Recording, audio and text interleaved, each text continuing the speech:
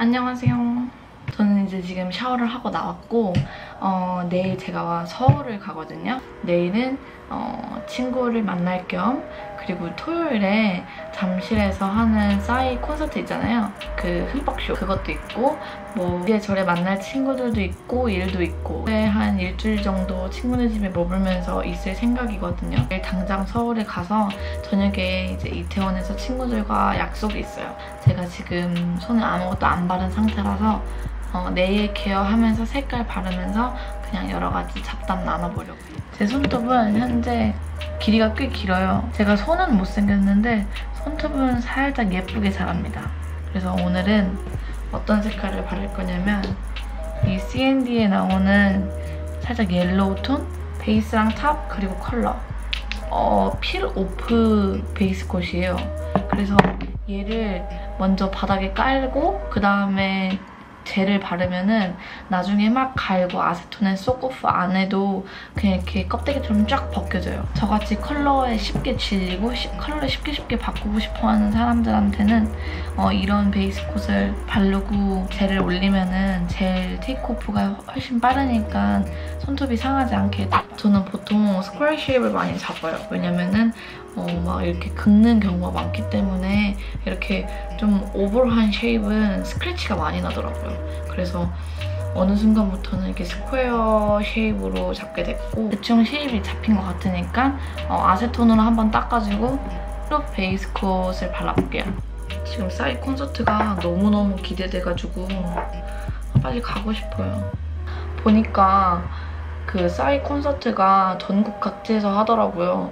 근데 저는 일부러 잠실 경기장에서 하는 날로 잡았었거든요. 왠지 뭔가 잠실이 가장 재밌을 것 같아서 한 번 떨어졌어요 심지어 그 티켓팅에 실패를 했었어요 안표가 바로 올라오더라고요 그래서 안표를 만 원인가? 만 오천 원 정도 더 주고 안표를 샀었어요 근데 며칠 있다가 티켓을 다시 재오픈하더라고요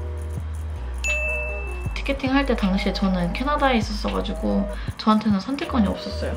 외국인들은 아무래도 손톱 이렇게 엄청 길고 뾰족하게 하는 게 되게 예쁘다고 생각하고 많이들 그렇게 하는데 한국은 사실 그렇게까지 많이 하지 않지 않나요? 한국은 그렇게 막 길고 뾰족한 손톱보다는 짧더라도 막 아트나 디자인 같은 게 올라가 있는 손톱이 더 제가 한국에 와서 영상을 몇 번 찍긴 했었어요. get ready with me 같은 거를. 뭔가 조명이나 방 같은 거에 익숙하지도 않고 되게 살짝 어색하더라고요. 캐나다랑 다르게. 그래가지고 편집도 못하고 그동안 캐나다에서 찍었던 영상들만 찍어서 올렸거든요. 어, 제 첫 영상은 get ready with me 같은 거를 찍으면서 제가 요즘 어떻게 지내고 있는지를 꼭 말씀을 드리고 싶었어요. 왼손부터 발라볼게요. 한국은 확실히 습하잖아요. 근데 제가 오랫동안 한국을 안 와서 이게 한국이 얼마나 습한지를 새카맣게 잃어버리고 있었어요. 한국은 진짜 엄청 큰 목욕탕 같은 모, 목욕탕 같아요. 화장을 하면 땀에 다 지워져 버리고 저는 아침에 화장을 하고 나가잖아요? 그러면은 점심에 집에 잠깐 들어오면 그냥 화장을 다 지워버려요. 너무 답답하고 다 무너져 내리고 내일은 놀러 가야 되는데 화장을 어떻게 해야 될지 진짜 걱정이에요. 땀 많이 나면. 자, 그럼 색깔을 발라보도록 하겠습니다. 저는 엄청 얇게 새 콧을 바를 거예요.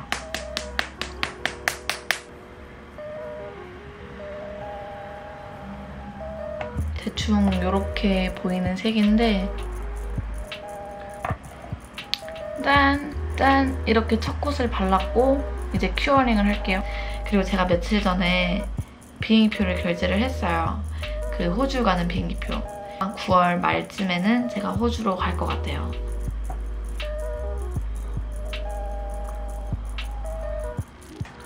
맞다 그리고 제가 최근에 유튜브 그 Ad license, AdSense 승인이 났어요. 사실 어, 유튜브 애드센스 조건이 2018년 1월부터 바뀌었잖아요. 근데 그 전 조건도 그 후 조건도 그 당시에 충족이 되긴 했었는데 제가 애드센스를 신청을 2월인가? 그때 했어요. 되게 늦게 했죠. 근데 승인이 7월에 난 거예요. 그래서 거의 한 5개월 정도 만에 드디어 승인이 났고 유튜브에 공식적인 제 어, 애드센스가 생겼습니다. 아, 너무 좋아요. 근데 승인이 났다는 그 자체가 되게 돈을 떠나서 엄청 새롭게 제가 영상을 만드는 원동력을 주는 것 같아요. 그래서 더 열심히 해보려고 합니다. 사실 유튜브 수익 창출이 승인 나기 전부터 몇 번씩 막 그런 광고 같은 그런 게 제의가 들어오고, 들어오기도 했었어요. 몇 번은 막 거절을 했었거든요. 근데 어, 어떤 식으로 계속 거절을 하는 거 말고 어떤 식으로든 이 컨텐츠를 내가 느끼기에 괜찮을 것 같으면 만들어보는 것도 괜찮을 것 같아서 지금 생각을 좀 하고 있어요. 탑콧을 발라줄게요.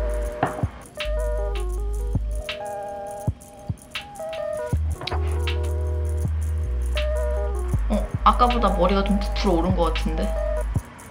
그죠? 아, 너무 덥다. 이쪽 손은 끝났어요. 제가 진짜 좋아하는 색이고 좀 여름에 바르기 좋으면서 저처럼 피부가 까만 사람한테도 되게 좀 잘 어울리는 색인 것 같아서 제가 진짜 진짜 좋아하는 색이에요.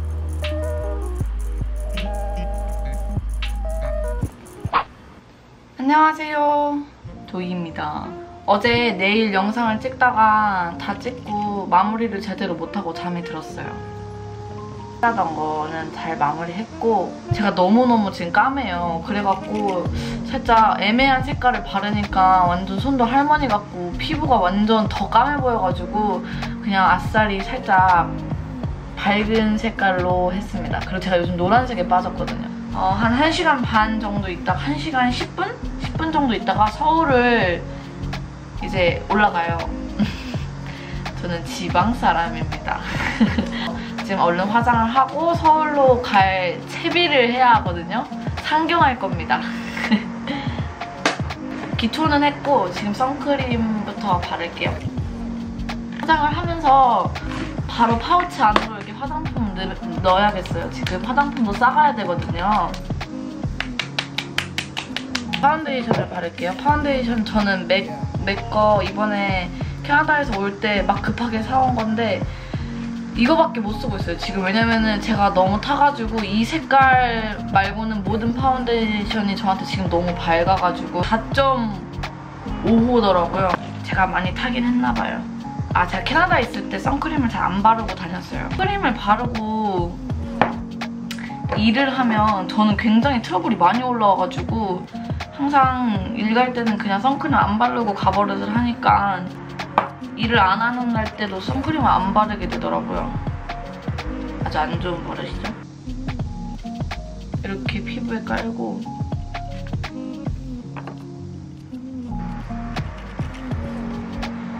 확실히 캐나다에 살 때보다 그 한국에 오니까 피부가 훨씬 좋아졌어요.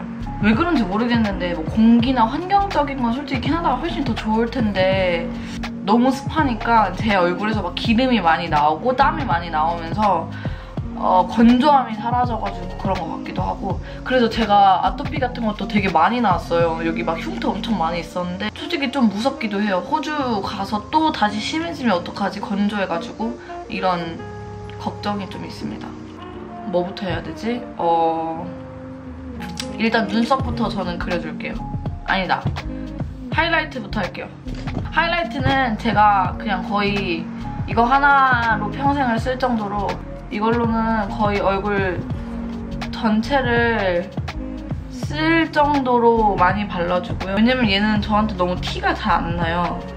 근데 은은한 광 같은 게 확실히 보여서 타르트 제품 중에 엄청 예쁜 골드 펄이 있거든요. 골드 하이라이트? 이걸로 코 부분을 살짝 더 반짝임을 줄게요. 그다음에 아워글라스에 있는 Diffused Bronze Light라는 색깔로 여기 살짝 shading을 해줄게요.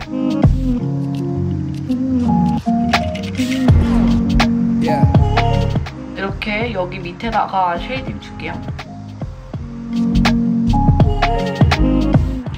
제가 보기와는 다르게 지방에서 겁나 오래 산 사람이고 서울을 많이 가본 적이 없어요.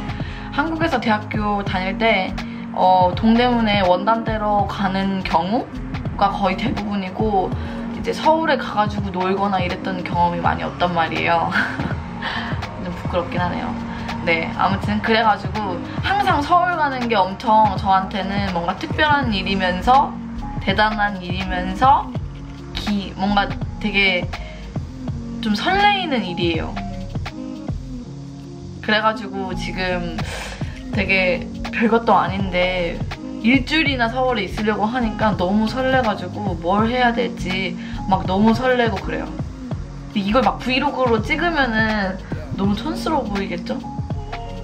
제가 잘 서울의 지리를 잘 몰라서 처음에는 다 서울이 거기서 거긴 줄 알고 터미널부터 홍대까지는 뭐, 뭐 10분이면 가겠지 막 이렇게 그냥 다 거기서 거기라고만 생각을 했었어요.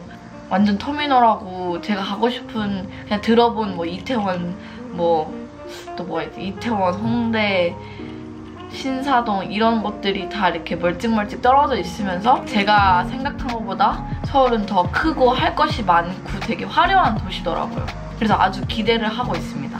그런 와중에 지금 화면에 비친 제 얼굴이 너무 눈썹이 없어서 눈썹을 빨리 그려보도록 할게요. 눈썹은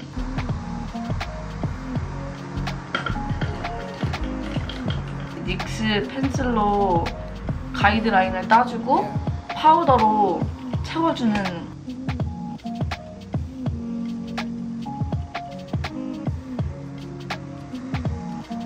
이렇게 끝부분만 쉐입을 싹 잡아줘요. 이 아래랑 끝만. 이 닉스 아이섀도우 10번 컬러 제가 눈썹에 사용하는 이 컬러로 앞에부터 채워줄게요.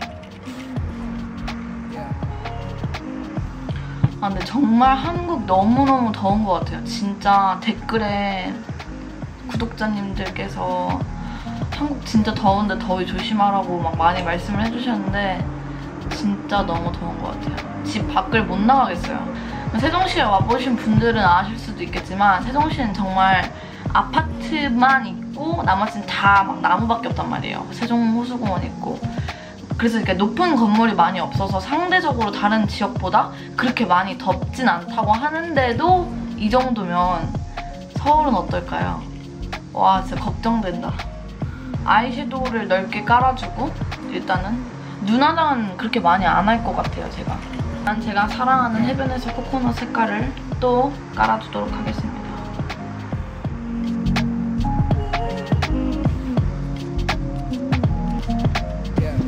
난 모노아이즈에 있는 My Ombre라는 색상을 한 겹 더 깔아줄게요.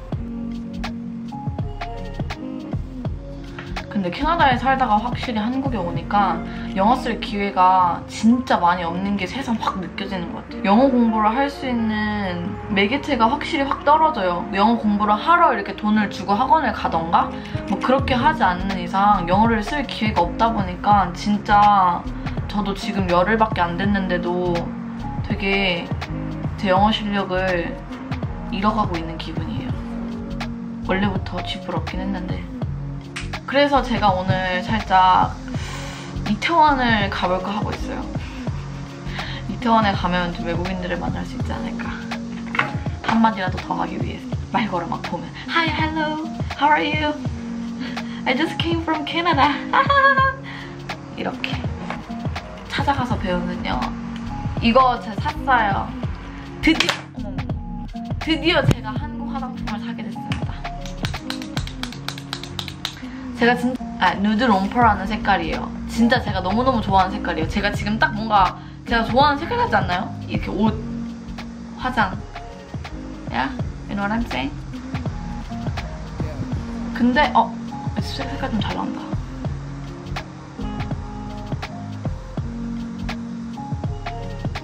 확실히 햇빛 뭐라 해야 되지? 햇빛을 받으면서 찍으니까 발색 같은 게 되게 잘 나오네요. 맨날 캐나다에서 어두컴컴한 방에서 찍어버릇해가지고 이거랑 같이 산 색깔이 이거 바로 옆 호수였던 어, 브릭슬립이라는 색깔이에요. 이건 이렇게 레드가 아닌데 이 정도 색깔인데 이거를 진짜 많이 바르고 이거는 음, 사실 받은 지 이틀밖에 안 돼서 둘 다 많이 바르지 않았습니다. 근데 저는 개인적으로 이 색깔이 더 마음에 들어요. 제가 또 얼마나 화장품에 돈을 또 많이 쓸지 걱정돼요. 전전 비디오에 거치장에 연연을 앉지 않기로 했는데 역시 한국은 화장품인가 봐요. 제가 한국에 오니까 없던 화장품 욕심이 막 생기면서 페이스북이나 이런 거 보면은 신제품이 막 올라오는데 캐나다에서 구할 수가 없잖아요. 그리고 구할 수 있더라도 굉장히 신상이 신상이 아니게 됐을 때 결국에 구할 수 있게 되고 그게 또 가격이 그 가격이 아니에요. 최소 두 배. 근데 저 오늘 아이라인만 그리면 화장 끝나는데 눈 화장을 많이 안 하죠, 제가. 아, 블러셔를 좀 발라볼까요? 이건 어, 선바스크라는 맥 그 쉬머한 블러셔인데 개인적으로 이런 색깔 진짜 좋아해서 확실히 화장품이 뭐 많다고 많지도 않긴 하지만 화장품을 많이 사다 나른다고 하더라도 항상 사는 색만 사더라고요. 결국에 저는. 이 캐펀디 타투 아이라이너 이거는 제가 캐나다에서 진짜 아주 주구장창 썼던 아이라이너인데 이거를 쟁여오지 못했어요. 제가 급하게 캐나다에서 오느라 진짜 세포라를 못 간 게 한입니다, 한. 아, 다 쓰면 한국에서 도대체 어떤 아이라이너를 사야 될지 고민이에요. 쨍하게 쫙 그려지고 잘 안 지워지고 누구나 아는 그런 캣번디가 한국에 있나요? 백화점 가면 있나? 아 벌써 많이 안 나와. 거의 다 써가나 봐요. 아시다시피 8월에는 제가 비자도 준비하고 뭐 필리핀도 가고 굉장히 바쁘게 보낼 것 같은데 9월 한 달을 어떻게 보내야 될지 되게 고민을 많이 하고 있어요. 근데 제가 생각한 게 아무래도 제가 면허가 없거든요. 면허를 따는 게 가장 좋은 방법일 것 같아요. 제가 다시 언제 한국에 올지 모르니까 지금 빨리 면허를 따놓는 게 좋을 것 같아요. 안 나와. 사인 흠뻑쇼가 진짜 엄청 흠뻑 젖는다고 해요. 진짜 손가락이 쭈글쭈글해질 정도로. 그래서 화장을 어떻게 하고 가야 될지 모르겠어요. 화장을 안 하고 가는 게 제일 짱이긴 한데 짠! 이렇게 브러쉬도 챙겨갈 거고 이렇게 제가 오늘 사용한 제품들도 챙겨갈 거예요. 파운데이션. 그리고 혹시 몰라서 수정 화장이 필요할 수도 있으니까 어, 제가 산 첫 쿠션이거든요. 이 쿠션 좋나요? 아직 안 써봤어요. 한번 테스트만 해봤는데 제일 오, 어두운 색깔 샀는데도 저한테 정말 밝아서 제가 진짜 놀랐어요. 아, 이렇게 밝구나. 4단계나 있는데 4단계 중 가장 까만 걸 샀는데도 되게 밝더라고요. 그럼 저는 이제 서울 갈 준비가 끝났고 머리를 해볼게요. 할게 딱히 없어. 제가 앞머리 파마를 다시 했어요. 여기 부분. 보시다시피 여기가 엄청 빠글거리죠? 어, 원래 곱슬인데 이 앞에 진짜 이 빠글거리는 딱 요만큼 앞머리가 빠글거리는 딱 요만큼은 파마를 했어요. 머리를 제가 365일 묶고 다니다 보니까 어, 뒷부분은 사실 파마가 어찌되든 상관없고 어떻게 보이든 그렇게 제가 제 눈에 안 보이기 때문에 신경을 많이 안 쓰는데 이 옆머리 부분에는 또 제가 곱슬기가 뒷머리보다 옆머리가 좀 덜해요. 그래서 옆머리는 되게 개털 같아 보여요, 항상. 그래서 그냥 파마를 하게 됐어요. 파마를 하니까 좀 그냥 뒷머리와 어우러지면서 나름대로 좀 캐릭터도 좀 생기고 마음에 들어요. 근데 저한테 매직을 그렇게 권하시더라고요. 그 미용사분께서. 요즘 약이 그렇게 좋아졌다면서 매직을 그렇게 그렇게 그렇게 권하시더라고요. 화장품, 기초. 화장품이 한 집이네. 지금 샤워한 지 거의 1시간이 조금 안 됐는데도 아직 머리가 안 말랐거든요. 저는 드라이기를 안 써서 서울에는 이 조그만한 고프로 들고 가서 찍고 오도록 하겠습니다. 제가 찍을 수 있을지 모르겠어요. 너무 창피할 것 같아. 아, 싸이 콘서트는 꼭 찍고 싶어요. 그래서 고프로를 가져가는 거예요. 왜냐면 방수니까.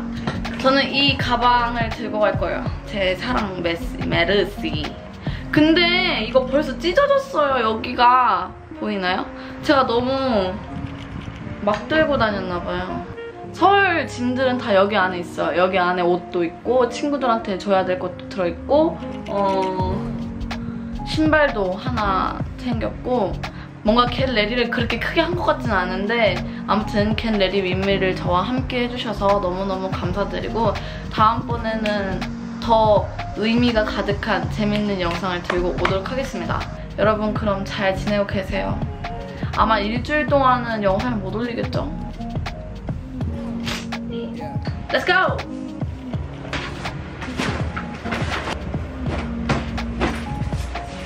Bye! See ya!